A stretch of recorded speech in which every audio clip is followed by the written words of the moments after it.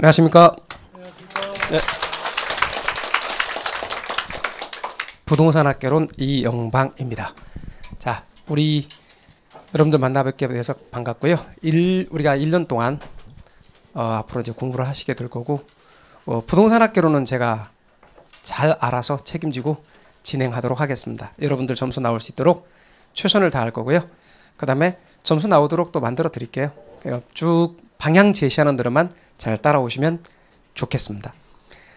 어, 시험의 경우는 대충 방향이 잡히는 부분들이 이제 있습니다. 1월 달에 방향이 좀 잡히는 게 있고요. 또 시간이 지나면서 방향이 잡히는 게 있는데 그때 그때 상황에 맞게 여러분들에게 방향 제시를 해드리고 강의의 방향도 이제 들어갈 때마다 요 강좌는 어떠니까 어떤 어떤 것들을 해주십시오라고 말씀을 드리겠습니다. 먼저는 첫 시간 오리엔테이션 시간입니다. 이 오리엔테이션과 관련된 내용들을 좀 이렇게 야, 1년 우리가 사용하는 건데 잘 한번 봐주시면 좋겠습니다. 오리엔테이션만 제가 PPT를 사용합니다. 이 사진은 어떤 사진이냐면 합격자 모임에서 박수 치는 모습입니다. 어, 그런데 제가 사진 찍는 줄도 몰랐는데 어떤 분이 찍어주셔가지고 예, 여러분들에게 이 사진 합격자 모임에서 박수 치는 모습입니다. 꼭 여러분들이 오셨으면 좋겠습니다. 이때. 자, 이제 말씀을 좀 드리겠습니다. 먼저 부동산학 개론이란 어떤 과목인가? 이제 부동산학이라는 요 말에다가 개론이란 말이 붙였어요. 그러니까 예를 들어 행정학인데 행정학에 개론을 붙인 거예요. 행정학 개론. 법학인데 법학에다가 개론을 붙인 거예요. 법학 개론. 이거는 법학 개론은 법학과에서 배우는 과목들이 다 들어 있는 게 법학 개론입니다. 마찬가지로 부동산학과에서 배우는 과목 7개 과목이 합쳐져서 부동산학 개론 이렇게 된 겁니다. 거기에 총론까지 총 8개 부분으로 나누어져 있습니다. 부동산학은 어떤 학문이냐면 부동산학은 사회과학의 한 분야로 이론 과목입니다. 그럼 여러분 1차 과목에 부동산학 개론 말고 또 뭐가 있죠? 민법. 그죠? 그럼 2차 과목에 공법, 중개사법, 공시법, 세법. 그러니까 6과목 가운데서 나머지 5 과목은 다 법과목이고 부동산학만 사회과학의 이론 과목이다라고 하는 겁니다. 그래서 시험 과목 중 유일한 사회과학 학문 과목이며 이것은 부동산 관련 다양한 현상과 문제 해결을 위한 이론적 기초를 제공하는 학문입니다. 그래서 사회과학의 한 과목이다라고 하는 것 알아두십시오. 자, 그럴 때 이제 부동산학 개론 공부를 시작하며 우리가 어떤 것들을 좀 준비하고 어떻게 또 해 나가야 좋은 성과를 거둘 수 있는가를 말씀드리겠습니다. 먼저는 몇 가지를 당부를 드리는데요. 첫 번째는 마음가짐. 두 번째는 기출 문제 분석. 세 번째는 학습 방법. 요 세 가지는 제가 항상 강조하는 것입니다. 제일 첫 번째요. 마음가짐이 가장 중요합니다. 마음가짐이 제일 중요해요. 어떤 마음가짐이냐면 반드시 합격하겠다는 마음가짐. 혹시 그 시험 준비하시기 전에 그 이번에 시험 준비를 하면 여러분이 그 붙는다 뭐 떨어진다 뭐 이런 그 점 보는 거 있잖아요. 그런 거 해보신 분? 해보신 분? 없어요? 예, 보통 정월에 보던데 1월달에 볼 거죠. 그 어, 보러 가더라고요. 아, 합격하냐고 올해 시험 운이 있는지 없는지 그런 거 보러 가시는데 그게 확률이 한 보통 반반밖에 안 되는 것 같던데요. 근데 그러지 말고요. 그거 보통 한 번 하면 아무리 적게 줘도 한 5만 원 줘야 되죠. 안본 것처럼 그러는 거 봐. 아이, 봐보시잖아요. 한번 이거, 이게 시험은 아니더라도 점 같은 거 보면 한, 그래도 한 5만 원 줘야 되잖아요. 그죠? 예, 그러지 말고 그냥 저한테 커피 한 잔만 갖다 주면 제가 정확하게 봐드릴 수 있습니다. 어, 저는 진짜 한 90% 어, 적중률을 자랑합니다. 어, 정말입니다. 여러분들 좀만 지나면 제가 여러분들 하, 아, 합격할지 안 될지 압니다. 아, 단 인강으로 들으시는 분은 참 모릅니다. 왜 모르느냐? 제가 지켜봐야 알거든요. 여러분 딱 보면 마음가짐이 나타납니다. 이 합격하겠다는 마음가짐이 있는 분과 그렇지 않는 분은 달라요. 합격하겠다는 마음가짐 있는 분은 반드시 합격해요. 근데 그냥 열심히 해서 되면 좋고 안 되면 또 다음에 하고 이렇게 막 넉넉하신 분들 있잖아요. 마음이 착하신 분들. 이런 분들은 다 양보해요. 진짜라니까요. 아, 나 급해. 올해 꼭 합격해야 돼. 이런 분들은 합격해요. 근데 아이 뭐 올해 사람이 올해 안 되면 또 내년에 하고 그러는 거지 뭐 이러신 분들은 좀 안 될 수 있어요. 그래서 딱 마음가짐이 나타난다는 거죠. 그래서 여러분들한테 꼭 당부드리고 싶은 것은 그냥 이번에 시험에 합격했으면 좋겠다. 그리고 기한 공부하는 것만 지금 우리 시작할 때 11월 달부터 시작하시는 분들은 동차 1차와 2차를 동차 합격하는 공부를 하시라. 그래서 꼭 반드시 합격했다는 마음가짐을 가지셔야 됩니다. 두 번째는 목표를 세우십시오. 공부를 하다 보면 아직 부동산 분야를 잘 모르니까 내가 저걸 자격증을 따서 뭘 할 건지. 일단 단기 목표는 합격입니다. 그다음 장기 목표는 자, 격증을 따서 내가 뭘 할 건지. 오 야무지게 목표 세우는 분들은 많아요. 내가 일단 자격증을 딴다. 그리고 부동산 관련 대학원도 내가 간다. 그리고 내가 이쪽 분야를 좀 더 전공한다. 그리고 나중에 TV에 부동산 관련 프로그램들 내가 다 휩쓴다. 그리고 앞으로 내가 부동산 분야에 가장 몸값을 높이도록 한다. 뭐 이렇게 목표 세운 사람도 있다니까요.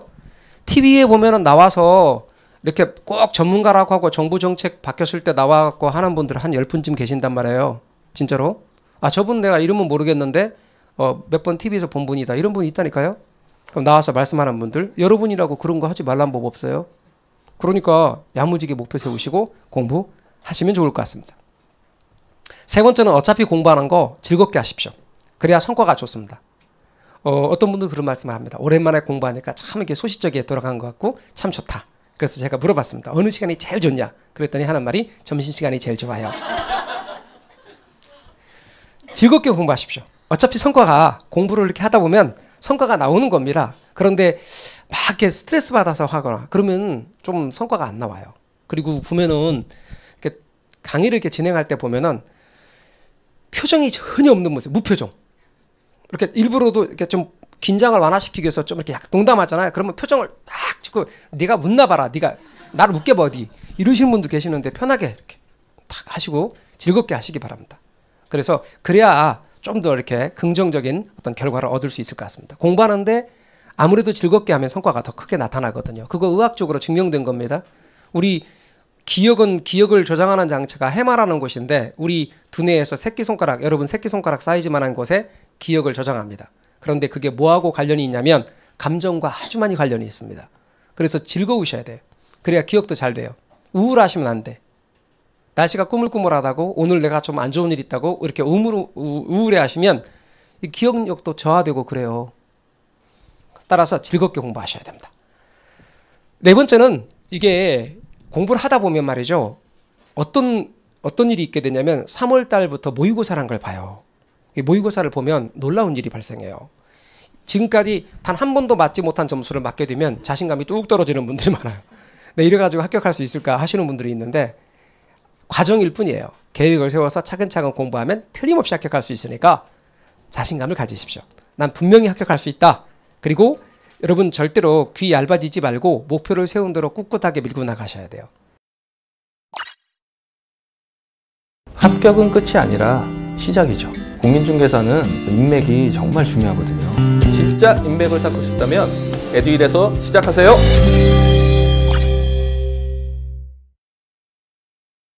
이렇게 저렇게 다른 얘기 신경 쓰지 말고 오로지 부동산학 개론은 딴 사람 얘기 들으지 마시고 제 이야기만 들으십시오.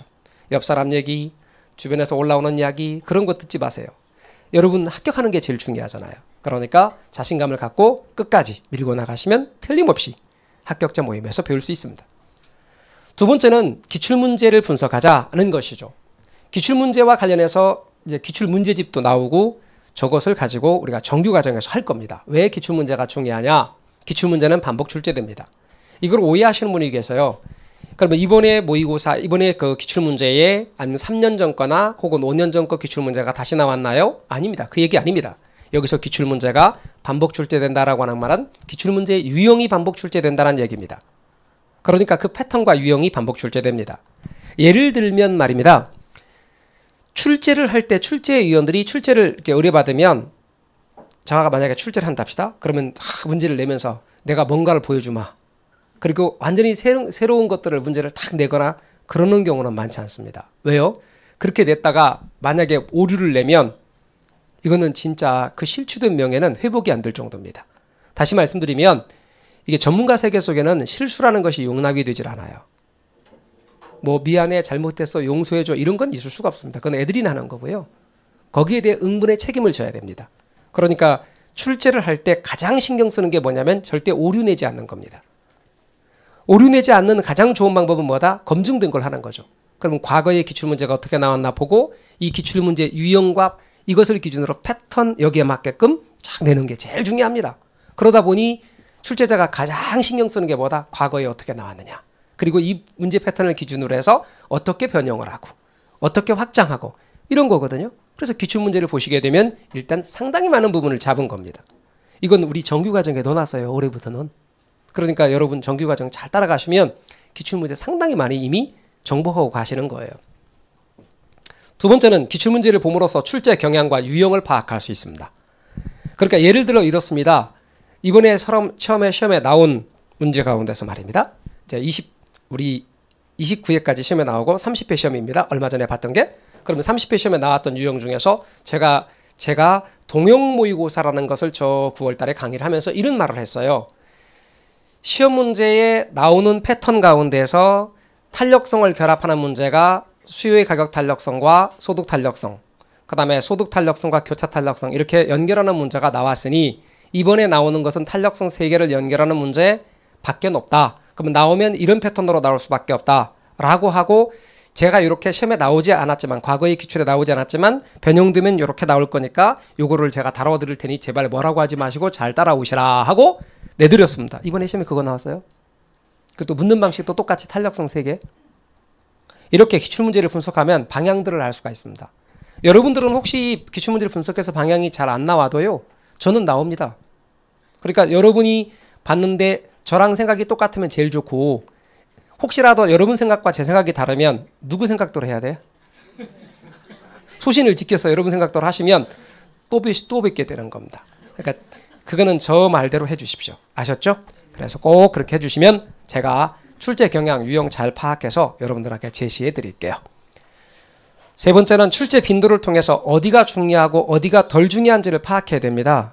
여러분 우리가 시간이 많고 능력이 된다면 싹 다 잘하면 됩니다. 부동산 학개론 책 처음부터 끝까지 골고루 막 싹 다 잘하면 돼요. 그런데 이게 과목이 1차와 2차를 지금 다 함께 공부하라고 했고 6과목입니다. 시험 과목은 5과목이지만 공부하는 과목이 6과목이에요. 그러니까 공부하는 사람 입장에서는 장난이 아니에요. 그러니까 우리는 어떻게 해야 돼요? 선택과 집중을 해야 돼요. 그래서 더 중요하고 시험에 잘 나오는 부분에 집중해야 된다 그 말이에요. 그러려면 어디가 중요한지를 알아야죠. 그럼 공부하는 사람도 어디가 중요한지 아는 게 좋아요. 뭐 선생님이 하란 대로만 하겠다. 이것도 좋은데 그래도 어디가 더 중요한지를 알아야 좀 더 집중할 수 있잖아요. 그래서 출제 빈도를 통해서 중요 부분을 잘 파악하는 것이 중요합니다. 여기에 집중하시면 되는 거예요. 시험 문제는 어디서 나오는가? 어느 곳에서 나오는가? 우리가 지난 10년간 데이터를 갖고 분석을 해보니까 부동산학 개론이라고 하는 파트는 총 3개의 파트로 구성되어 있는데 부동산학 총론이라고 되어 있는 부분에서는 3문제가량이 평균적으로 출제됐습니다. 7%. 부동산학 강론이라고 되어 있는 파트가 77% 31문제가량이 출제가 됐습니다. 집중적으로 나오고 있는 파트입니다. 부동산 감정평가로는 6에서 7문제가량으로 약 16%가량 출제가 되었습니다. 부동산학 첫 번째 총론이라고 되어 있는 첫 번째 파트는 지난 10년 동안 약 3문제가량이 출제가 됐는데 문제가 아주 기본 위주로 출제가 됐어요. 어렵지 않습니다. 아주 기초 개념 위주로 나왔다 그 말이죠. 부동산학 강론 문제는 10년 동안 31문제가 출제됐습니다. 부동산 경제론, 부동산 투자론, 부동산 금융론 이런 부분의 출제 비중이 높고요. 계산 문제가 이 부분에서 6문제가량이 출제됐습니다. 부동산학 개론에서 계산 문제는 9에서 10문제가량이 나오는데 요새는 거의 9문제가량으로 굳어진 것 같아요. 얼마 전 시험 30회 시험에서도 계산 문제가 9문제가 출제됐습니다. 그 중에 6문제가 부동산학 강론에서 나왔다 그 말이죠. 감정평가론 부분은 꾸준히 6문제 내지 7문제씩 출제되는데 최근에는 6문제가량으로 거의 정해진 것 같습니다. 비교적 평이하게 출제되고 있습니다. 어, 시험이 갈수록 파트가 어려워지는데 갈수록 시험이 조금 쉬워지는 파트가 있어요. 그게 바로 감정평가론 파트입니다. 이게 조금 쉬워지고 있는 파트예요. 그러니까 이거 장이 당연히 할 수 있으면 다 맞아야죠. 총론도 쉽대잖아요. 다 맞아야죠. 그래서 여러분 감정평가론 부분 끝부분에 있는데 충분히 여기까지 해서 좋은 점수를 맞을 수 있어야 됩니다. 계산 문제는 보통 9문제가량이 출제가 되고 있습니다. 9에서 10문제인데요. 최고 많이 나왔을 때 지금까지 11문제 나왔었고요. 그건 한 분. 보통 9문제가 가장 많이 나왔습니다. 그래서 9문제가량 나오고 있다. 이렇게 알고 계시면 됩니다. 계산 문제에 대해서 주눅 들지 마십시오. 산수 못해도 됩니다. 알려드리는 대로만 하십시오. 계산기 갖고 오라고 할 때 가져오시고 뭐 누르라고 할 때 누르시고 이렇게 하시면 됩니다. 자, 그 다음에 이제 시험에 나왔던 파트를 요거를 기본서 앞 다 넣어놨어요. 기본서에. 앞으로 기본서를 기초서 말고 기본서를 받으시면 앞쪽에 다 들어있어요. 그래서 이것들 보고 출제 빈도표를 통해서 어디서 많이 나왔는지를 분석하시면 됩니다. 지금 하나하나 적으시거나 그렇게 하실 필요 없습니다. 자, 공부를 하실 때 출제 경향 파악이 참 중요한데 그것은 기출 문제는 그 유형이 반복 출제된다고 아까 말씀드렸습니다.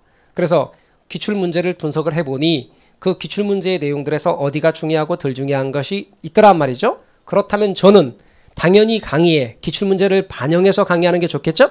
그래서 강의에 기출 문제를 반영할 겁니다. 하나하나 반영을 할 거고 기본서에도 반영해 놓고 그래서 앞으로 여러분 받으시는 기본서에는 과거 주로 10년 것이 많이 더 반영이 되어 있습니다만 기출 문제 내용들이 반영이 되어 있고 제목 위에다가 어떤 어떤 기출 문제가 몇 회 몇 회 나왔는지를 쭉 일부러 찾아보기 쉽도록 명시해 놨습니다.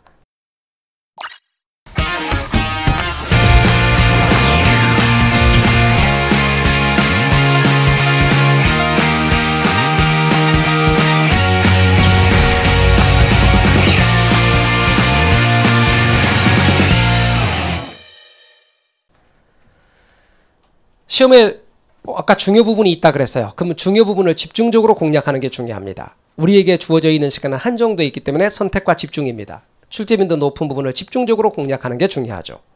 그래서 자주 출제되는 부분을 여러분도 파악하시면 좋겠고 혹 어렵다면 제가 강조드리는 중요한 부분들을 위주로 공부하시면 되겠습니다. 이제 세 번째는 학습 방법을 잘 가다듬으셔야 됩니다. 이 중에는 소시적에 진짜 공부 잘하신 분, 소위 30년 전에 혹은 20년 전에 명문대라고 하는 그런 대를 나오신 분도 있습니다. 어, 또 남자분들도 다 명문대 나오셨죠. 군대라고 하는 명문대를 나오셨습니다만 하여튼간 어쨌거나 예, 20년, 30년 이렇게 되는 옛날 얘기입니다. 그런데 말이죠. 매일 조금씩 조금씩 꾸준히 1%씩만 노력하면 1년 후에는 정말 깜짝 놀랄 만한 결과 3000%가 높은 발전을 합니다. 그러나 거꾸로 매일 1%씩만 퇴보하잖아요.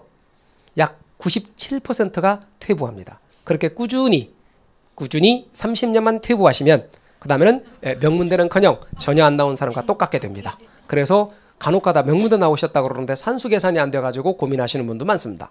자, 그러니까 지금부터 다시 옛날에 소시적에 공부 잘했던 그건 다 잊어버리시고 다시 한번 학습, 학습 방법을 가다듬으셔야 됩니다.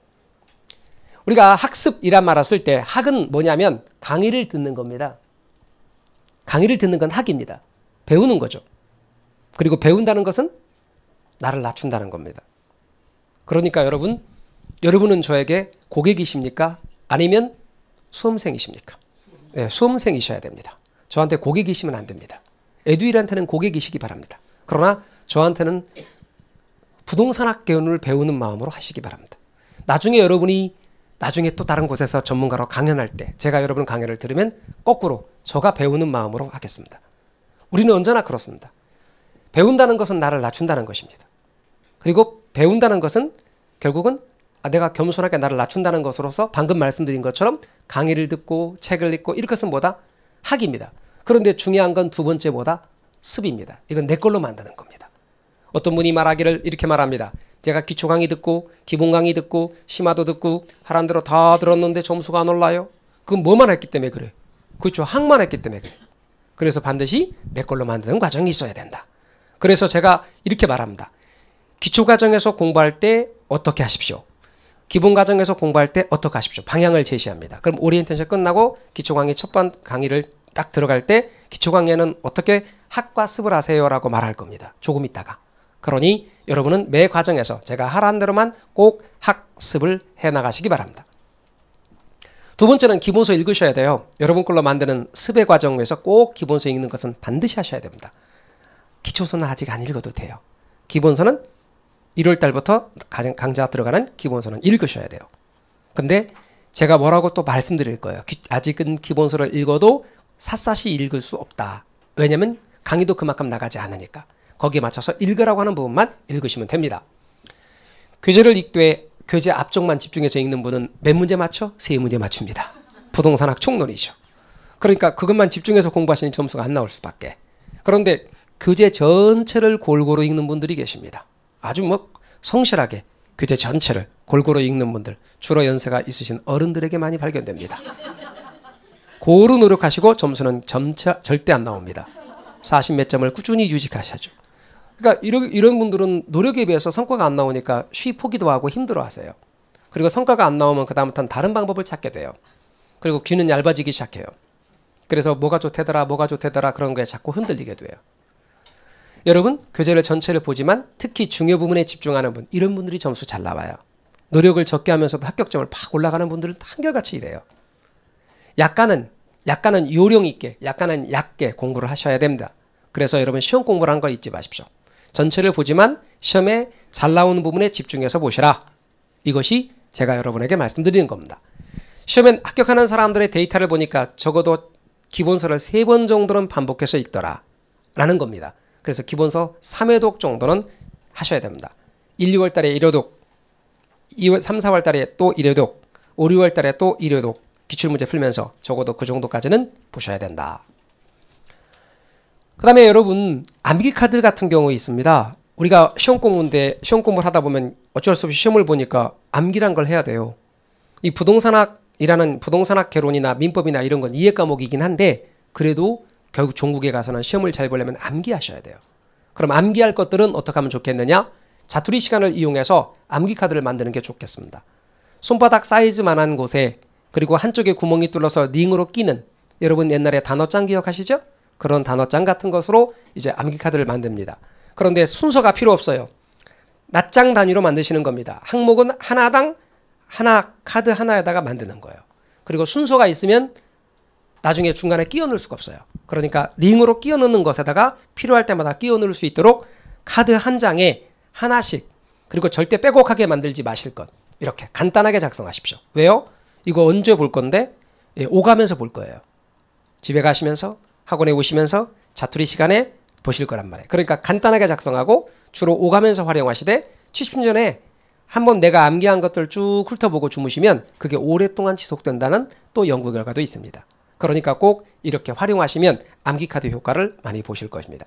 특히 2차 과목 같은 경우는 암기 과목이다 보니 거기에서 교수님들이 중요하다고 말한 것들을 위주로 여러분이 적으시거나 심지어는 어떤 과목들은 거의 암기할 자료를 주면 그것들을 여러분이 옮겨 적으시거나 그렇게 해서 암기 카드를 활용하시면 상당히 상당히 좋은 효과를 보실 수 있습니다. 그 다음에 서브노트 내지는 오답노트를 만들자라고 하는 것입니다. 어, 서브노트와 오답노트는 다릅니다. 서브노트는 요약자료, 여러분이 강의를 듣고 내용을 요약한 요약자료입니다. 그리고 오답노트는 틀린 걸 내용들을 정리하는 겁니다. 이런 서브노트를 만들자고 하는 것이죠. 그런데 기본서와 연결을 생각하고 인강을 잘 활용해서 개념 부분을 적어도 두 번 이상은 들으신 다음에 진행하는 게 좋습니다. 열심히 썼는데 나중에 교수님 말하기를 안 중요하대. 그럴 수 있기 때문에 꼭 적어도 인강을 두 번 정도는 수강을 하고 중요 부분 위주로 내용을 정리하자. 공부하다 헷갈리는 내용이나 중요하다고 생각되는 내용들을 적는 겁니다. 어떤 원칙이 없어요. 여러분 너무나 부담 갖지 마시고 하다 보면은 돼요. 세 번째 모의고사를 보면서 몰랐던 내용, 틀렸던 내용을 모의고사를 복사해서 잘라붙이든 여러분이 직접 메모를 하시든 중요 사항들을 옮겨 적는 것이 아주 중요한 오답 노트가 됩니다. 자, 그런데 그런데 여기서요.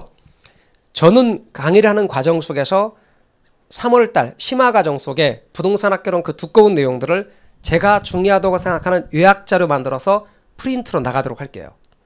그럼 여러분은 부동산 학교로는 굳이 서브노트 만들기 위해서 애쓰시지 않아도 돼. 이해 가셨습니까? 자, 그럼 다른 과목들에서는 이 암기 과목이라는 것도 그런 자료들이 많이 나가요. 그러면 그걸 많이 활용하십시오. 그러면 제가 말하고 싶은 것은 아, 전 과목을 다 하면 여러분이 하면 좋은데 그게 어렵자면 딱 한 과목만 하십시오. 그 과목이 뭔데? 여러분이 정리하시는 거. 딱 한 과목. 민법만 하십시오. 이해 가셨어요? 민법만 민법만 민법 교수님 강의를 듣고 여러분이 여러분 나름대로 방식으로 정리하란 말이에요. 이렇게 노트에다가 정성을 다해서. 다른 과목 다 하면 좋아. 시간이 없어. 그러니까 다른 것들은 특히 개론 같은 경우는 여러분에게 제가 중요하다고 생각하는 거탁 축약해서 탁 나갈게요. 그거 모으세요. 그럼 모아갖고 철하면 뭐가 돼? 요약노트, 서브노트 같아요. 이해 가셨어요? 1년 쓸 수 있는 서브노트 언제 나간다고요? 3월달 심화 과정에 나갈 거예요. 정규 과정 하면서 맞춰서 이해 가셨죠? 자, 그렇게 할 테니까 여러분들은 만약에 좀 이거 정리하기 어렵다. 그러면 언제부터? 1월부터 민법 강의 잘 들으시고 1월부터 여러분이 조금씩 조금씩 노트에다가 민법만큼은 정리하시면 좋겠다. 제 말 뜻 이해가 되셨죠? 네, 그렇게 잘 활용하시면 좋겠습니다. 앞으로 강의에서 제가 출제 포인트는 아까 중요하다고 생각하는 출제 포인트는 반복해 드릴게요. 공부하다 보면 어떤 말을 하는 줄 아십니까? 아, 나이가 들어서 그런지 기억력이 예전 같지 않아요. 들으면 다 잊어버려요. 이런 말씀을 많이 하세요. 그러니까 언제나 중요한 건 제가 반복 학습입니다. 정말 반복이 기적을 만듭니다, 여러분. 그래서 여러분 반복하셔야 되고 저도 강의에서 반복할 겁니다. 이제 오늘 기초 강의, 기초 이론이 시작됩니다. 그리고 거기에 기본 이론 강의가 1월 달, 2월 달부터 시작됩니다. 여기서부터는 기본서 과정이죠. 그리고 3월 달에 심화 이론입니다. 기본 이론 과정은 8주로 진행됩니다. 물론 기초 이론 8주, 기본 이론 8주, 심화 이론은 10주에 걸쳐서 나갑니다. 그러니까 기본서를 보다 더 자세히 심화해서 나가는 거죠. 그리고 기출문제 공략 과정이 6주입니다. 기출문제집을 통해서 과거 10년 동안 나왔던 기출문제들을 주로 분석해 갈 겁니다. 그리고 7, 8월 달에 문제집을 가지고 시험에 나오는 문제풀이 연습을 할 겁니다. 그리고 그 밖에 동영 모의고사 과정, 마무리 과정 이렇게 있습니다. 요거 중요한 거 계속 반복해 드립니다. 그래서 중요한 내용들을 반복해 가는데 공부 과정은 단계적 학습입니다.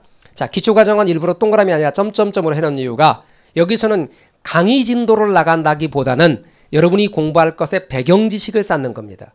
그래서 여러분 기초 과정은 절대로 빠지지 마시라 이런 말씀 드려요. 1월 달부터 공부하는 분들한테 제가 하는 말 어떤 말을 하는거 하면 반드시 기초 과정을 들으시라. 기초 과정은 적어도 최소 세 번은 들으셔야 돼요. 여러분 인강이 오늘 오프라인 강의, 학원 강의 있잖아요. 들으시고 그 다음에 인강을 뭐로 해서 복습 강의로 해서 인강을 두 번 정도 짬내서 두 번 정도 더 들으셔야 돼요. 기억에 남을 수 있도록. 그런데 여섯 과목 전체가 두루 서로 상응해서 뭘 만들어요? 여러분의 배경 지식을 만들어요. 이 중에서 부동산학과를 나온 분이 있어요. 이 중에서 작년에 시험 공부를 하신 분이 계세요. 그런 분들은 훨씬 더 이해하기 쉽겠죠. 배경 지식이 어느 정도 쌓였으니까. 그러나 전혀 이런 쪽에 공부를 하지 않았어요. 처음 왔어요. 그러면 바로 강의를 진행하잖아요. 못 알아들어요. 왜 못 알아들어요? 배경 지식이 쌓여 있지 않기 때문에 그래요. 그래서 그 배경 지식을 쌓는 과정이 뭐다? 기초 과정이에요. 그래서 기초 과정이 중요한 거예요. 기초 과정을 다 진행했어요. 빠지지 않고. 1월 달에 책 가지고 강의를 탁탁탁 진행해요. 여러분 8주라고 그랬어요. 우리 책이 약 800여 페이지예요. 그러니까 한 번 만났을 때마다 80에서 100페이지를 나간다는 거예요. 그 내용을 착착착 나갈 때 알아들어요. 탁 알아들어. 아, 아, 아, 알아들어. 왜? 배경 지식이 쌓였으니까. 그런데 배경 지식을 쌓지 않고 들으시면 단어가 무슨 뜻인지 몰라요. 그 단어가 뭘 말하는 거예요? 이렇게 물어본다고. 그러니까 꼭 기초 과정을 통해서 배경 지식을 쌓고 방금 말씀드린 것처럼 기본 과정에서 기본적인 체계를 잡고 심화 과정에서 좀 더 깊이 있게 들어가서 내용을 파악하고 잘 봤는지 기출 문제를 통해서 방향을 정하고 그리고 이제 문제풀이를 통해서 우리 공부한 걸 갖고 기억에 문제에다 적응하는 훈련. 이게 이론 공부한 거 따로 놀고 문제 따로 놀면 안 돼요. 내가 알고 있는 걸 문제에 적용해서 이제 문제풀이를 통해서 문제 적응력을 키워나가야 돼요. 실제 동영모의고사가 뭐냐면 실제 시험처럼 실제 시험처럼 여러분이 풀어, 문제를 풀어보고 적응해가는 과정이에요. 여러분 시험장에 들어가면 부동산학개론과 민법 이거 1차 과목이라 그래요. 1차 과목 몇 분 줍니까? 100분 줍니다. 그러면 개론 40문제, 민법 40문제, 80문제를 100분 주니까 충분하게 할 것 같죠? 네, 10분은 뭐 해야 됩니까? 예, 네, 옮겨 적어야 돼요. OMR 카드에다가. 여러분 80문제를 10분 안에 옮겨 적는 거 가능하게요? 불가능하게요? 연세 많이 드신 분 어른들은 제가 보니까 이게 잘 안 되더라고. 어떻게 옮겨 적는가 봤더니 이렇게 하는 거예요. 어, 1번에 3, 3 이렇게. 2번에 2번에 어, 4 이렇게 옮겨 적어요. 근데 좀 젊은 젊은 사람들은 다섯 개씩 다섯 개씩 다 그려가지고 착착착착 옮겨다 10분 안에 가는 게 80개 옮겨 적는 게. 근데 연세가 드신 어른들은 이게 한 개 잡고 손가락으로 짚어가면서 3번 이렇게 10분 안에 못 옮겨 적더라고. 그럼 결국은 만약에 10분 안에 옮겨 적었다고 친다면 결국은 80분에 80문제 풀어야 돼. 1분에 한 문제씩. 민법 같은 경우는 사례 문제 덩어리 큰거 보면 이제 문제 있거든요. 쭉 문제 있고 나니까 1분 지났대. 아직 문제 풀지도 않았는데 그런 경우도 있다니까요. 계산 문제 같은 거 아홉 문제나 나온다 그랬죠. 계산 문제 풀라고 계산기 꺼내고 준비하고 있는데 1분 지났대. 그런다니까요. 그러니까 뭐 해야 돼? 연습해야 돼. 시험 문제를 같이 자꾸 자꾸 아는 거 문제 푸는 연습하셔야 돼요. 여러분 시험장에 가면요. 실력에서 떨어지는 분도 계시지만 아는 거 표현 못해서 떨어진 분이 얼마나 많은 줄 아세요? 신경 빵빵해. 근데 면접 보러 갔어. 근데 갑자기 막 떨리는 거야. 물었는데 막 갑자기 하얘지면서 대답을 못했어. 실력이 빵빵한 사람인데 떨어지는 거지. 똑같아요. 그래서 연습하셔야 됩니다. 실제 시험과 같은. 그리고 마지막 마무리. 그래도 또 중요한 거 요약해 가면서 마지막 마무리 정리해야겠죠? 과정 단계별로 앞으로 쭉 진행이 될 거고 그런데 여러분이 어딘가에 아, 나 혼자 좀 정리 좀 해야지. 요때 톡 빠져버리면 제일 중요한 과정을 빠져버리는 거예요. 뭔 말인지 아셨죠? 이때 빠졌어. 기출 문제를. 그러면 제일 중요한 걸 빠지는 거예요. 이때 빠졌어. 문제 풀이를. 제일 중요한 걸 빠지는 거예요. 언제나 여러분이 빠질 때 제일 중요한 거 한다는 걸 꼭 잊지 마시기 바랍니다. 아셨죠? 그래서 꼭 빠지지 마시고 과정을 차근차근 해나가십시오. 능력이 뛰어난 분들은 이렇습니다. 영화의 중간을 안 봐도 대충 스토리를 연결시켜서 이렇게 앞뒤 mem에 어 그렇게 됐겠다고 추론하기도 합니다. 그래서 능력이 뛰어난 분들은 저거 한 가정 빠져도 대충 어느 정도 되는지 모르겠습니다. 근데 여러분 머리가 좋다 이런 사람들은 우리하고는 좀 다른 사람이라고 보셔야 됩니다. 여러분들 머리가 좋으십니까? 머리가 좋으십니까? 머리가 좋다는 말 기분 좋은 말이죠. 그런데 저는 머리가 좋은 건 아니지만 나쁘지 않다고 생각했는데요. 간혹가다 머리 좋은 사람들 만나다 보면은 조금 주눅들 때가 있긴 합니다. 머리가 좋은 사람들은 이런 사람들입니다. 한 번 듣고 다 이해하고요. 그리고 한 번 듣고 절대 잊어버리지 않는 사람들 있습니다.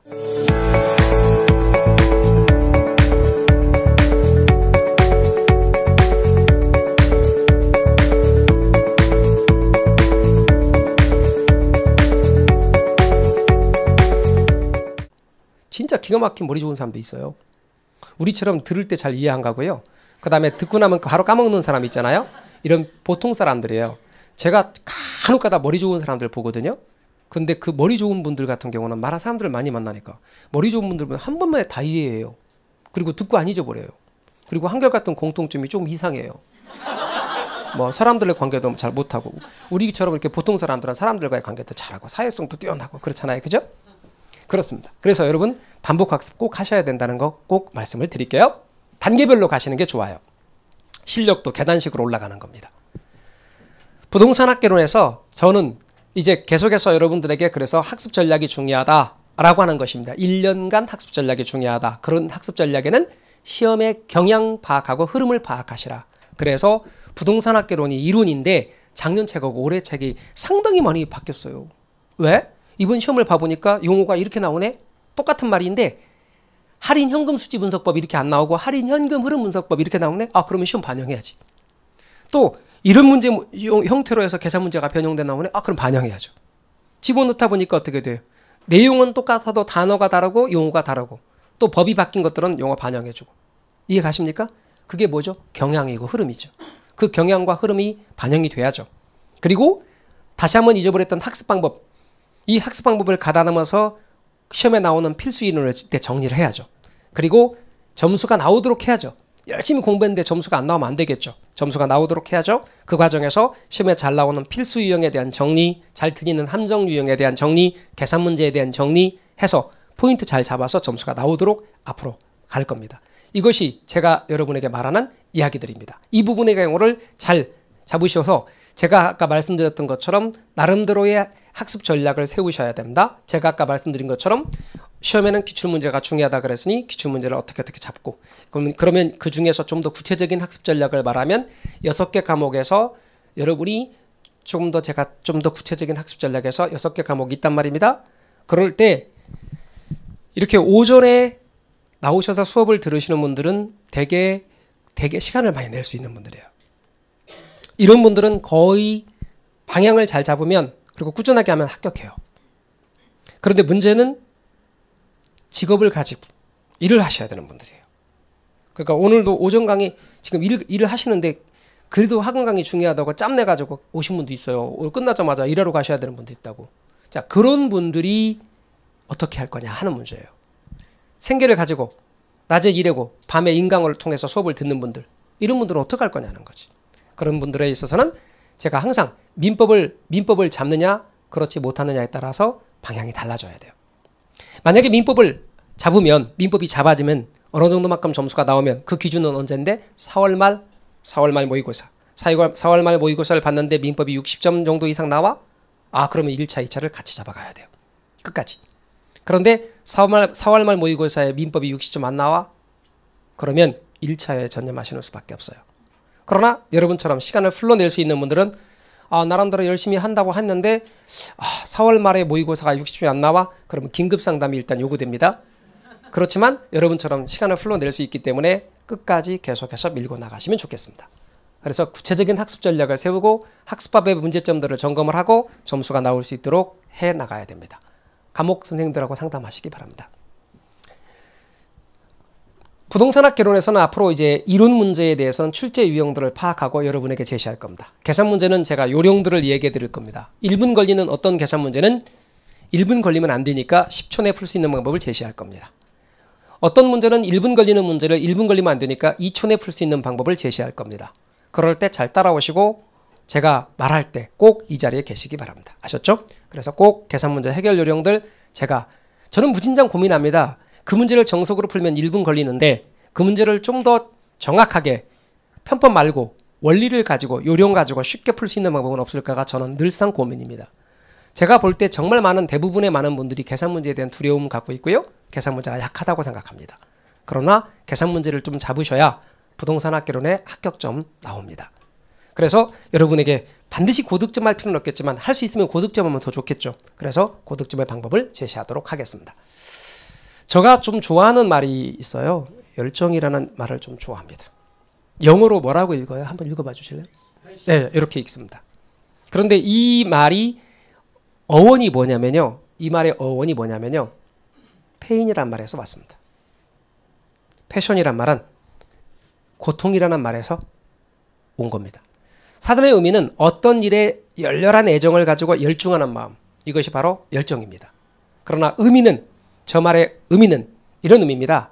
바로 죽을 정도의 고통을 감내하고 노력하는 것. 거기서부터 온 겁니다. 여러분, 여러분 자신을 위해서 오래 투자하는 겁니다. 그것은 여러분에게 단지 자격증의 취득만을 의미하지 않습니다. 여러분 자신에 대한 투자. 그리고 지나고 나면 여러분 그것이 연봉으로도 이어질 거고요.